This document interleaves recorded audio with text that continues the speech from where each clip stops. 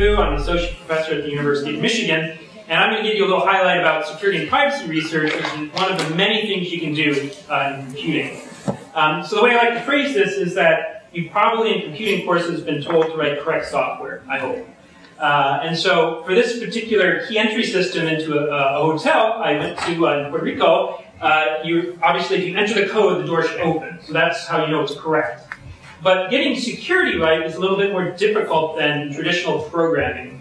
So um, for this particular hotel, um, it may have been designed by a committee uh, because the hotel decided to put a plastic placard with the uh, PIN code there. and if you can't read English numbers, they have it in Spanish as well. so security is a very hard property to achieve. It's a negative goal. It's very difficult to prove, and that's why it's fun. Uh, so my background, um, I was actually a student at MIT a, uh, a while ago, came here 20 years ago, um, worked at a number of places, uh, internships and such, uh, and I've recently moved to Michigan. And so just uh, uh, give you one quick slide. This is our computer science building in Michigan. we have right angles in our buildings. Um, and um, and what's interesting about this photo is um, the Beysters gave, I forgot, it was like 10 or 20 million or something, um, uh, donated, and, and, they named the, the, building the Bob and Betty Beyster Building, BBB. Um, and then one day, a hot tub appeared on the roof, uh, and they called it the Bob and Betty Beyster Bubbler. Uh, nobody really knows how it got there.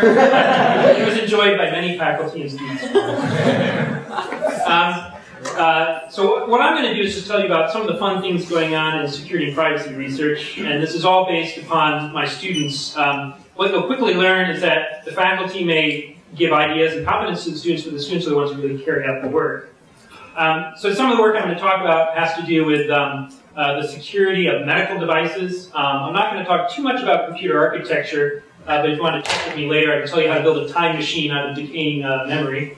Um, but mainly what I want to talk about is how to create trustworthy medical device software. Um, we all have had some kind of healthcare or wellness and computing software is everywhere. And so one of the first questions I always ask is, well, if you're getting a sensor reading, for instance, for health, how do you trust the readings from the sensor? Um, so one of my students uh, did a study uh, on pacemakers. We found a bunch of pacemakers. Um, we were sort of dumpster diving through medical waste. Um, and we discovered by accident that headphones interfered with the um, sensing on uh, inside some of these medical devices. And so from that, actually, there was an advisory uh, for patients to be careful about putting some of their headsets near themselves because it actually interferes with the function of the device. Um, so there we are uh, using our earbuds for our, our, our experiments.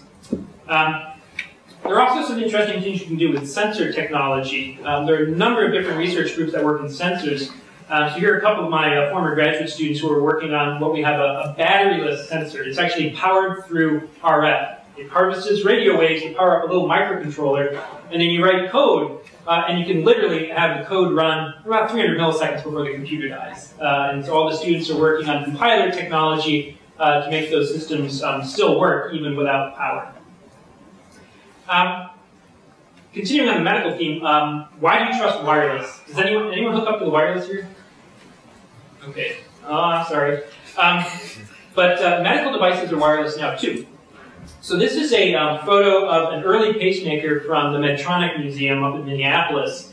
And can anyone guess, um, this is before wireless existed, um, can anyone guess what that little piece of metal is? It's a wire. It's a, uh, a wire, that's first guess. Uh, any other guess? yes, sir. Does it come out of the body to get data? Does it come out? No, this is not the Borg or anything like that. Uh, any other? Give a third chance? No? Okay, so that's actually a needle. So the way the devices used to be programmed before they were wireless is the physician would ask the patient, please lift up your arm. and would take a needle, punch it through the armpit, uh, uh, armpit and twist a potentiometer to change the heart rate. Um, so there's actually a very good reason to add wireless because it reduces the chance for infection. Infection is actually one of the greatest risks in this kind of medical care. So wireless brought great benefits, but if you start putting your security hat on, suddenly now you have to worry about the security of the wireless control of these implants. So that's what we did. Um, so we um, discovered that there's a debugging command built into pretty much every defibrillator to induce a fatal heart rhythm, and it's wireless. Uh, so my students created um, a software radio program that could induce what's called uh, ventricular fibrillation. Um, I'll show you a little bit about that later. Uh, but much of our research is now about how to protect these devices from unauthorized control uh, as these devices are evolving. Um, I'll just give you one sort of positive outcome. Uh, well, actually, before I do that, I promised you to show you a little bit more uh, video. So I want to, this will tell you a little bit more about the defibrillators. We count on medical devices to keep us alive, but we've discovered not all of those devices are secure, making it easy for cyber criminals to remotely access your device. This is the left atrium. Surgery may fix this patient's irregular heartbeat. Patients who have AFib also commonly need pacemakers. Cardiologist Brad Knight and his team at Northwestern implant about 600 pacemakers and defibrillators each year, which can be remotely monitored and programmed. We can wirelessly communicate with these devices. But this cutting edge technology is what makes these devices vulnerable. Occasionally, patients will raise the question of, you know, can someone hack into these devices. That does give me some concern. Jerry Hoffman had open heart surgery at 34 and a pacemaker a year later. I don't know what people will do with the actual data, but they certainly could potentially manipulate the device for one reason or another. The idea of breaking into medical devices became a reality when security expert and diabetic Jay Radcliffe hacked into his own insulin pump. I was able to write my own program to modify all the settings, turn the insulin pump off, but also change all of the therapy settings, which is a very dangerous thing to do. Radcliffe's groundbreaking research exposed a security flaw that could allow hackers to remotely control the amount of insulin, potentially administering a lethal dose. The only thing you needed to know was the six digit serial number on the back of this. This is an industry wide problem. Security experts say some medical device companies have designed cutting edge products, but have not given much thought to possible security flaws that could exist with the equipment and the software. I think everything with a computer has flaws. Dr. Kevin Fu tests all types of medical devices in his lab here at the University of Michigan. They do have shortfalls in that security really wasn't part of the picture when they were uh, designed. Fu uses a synthetic cadaver to test out the devices. And we actually look at defensive approaches, technologies that allow us to either detect or stop uh, malicious attacks. Now recognized as Dr. Fu. He's been called to testify before both the House and the Senate. Ultimately, he hopes his research will force medical device companies to increase security. The problem with malicious hacks is what's going to come down the line in the future if the manufacturing community doesn't solve these problems. A big concern among security experts. People who are building these devices, they're not security people. They're not people who are familiar with what it takes to build something to withstand all of the attacks. And if these security issues are not addressed, doctors say technology and patient care can't move forward. There are a lot more things we can do for patients that are not possibilities currently because of these concerns about you know, someone hacking into the device.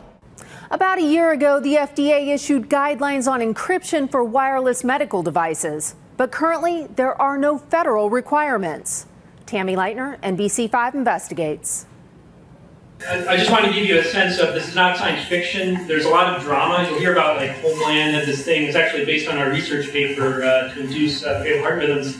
Uh, but there's a lot of misunderstandings because of how it gets dramatized. But there's real work going on in the research community to do protection. One thing we're doing to protect it is one of my students built a custom power outlet and can actually detect, for instance, if malware is running on a device, like a medical device, uh, through the power outlet.